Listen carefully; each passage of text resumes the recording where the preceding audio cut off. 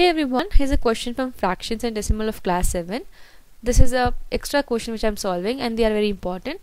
The question is what is the product of 5 by 129 and its reciprocal? So what they're asking is we have to find out the product. Product means multiplication.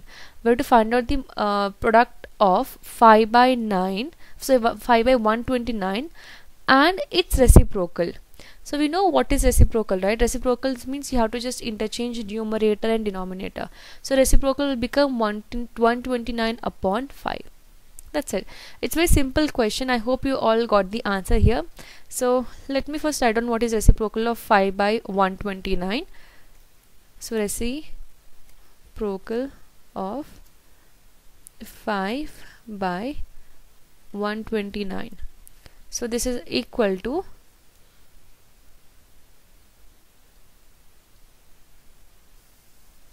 so this is equal to 129 upon 5 you have to just interchange the numerator and denominator. So 129 upon 5 now we have a number which is 5 by 129 and we have we got the reciprocal. We have to find out their product.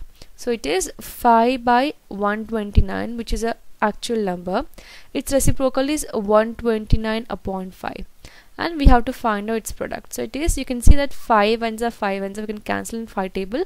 129 also we can cancel in its uh, 129 table.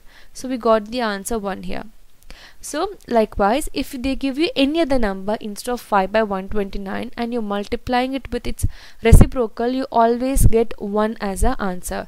You can check out with some other examples. Suppose you have taken 2 by 3 and you it, when you multiplying it with its reciprocal. So reciprocal of 3 by uh, 2 by 3 is 3 by 2. So the numbers will get cancelled you will get answer 1. So whenever you're multiplying a number and its reciprocal your answer is always 1. I hope this question is clear. This can confirm one mark. In case you have further question or doubt, you can drop a comment. Thank you so much for watching.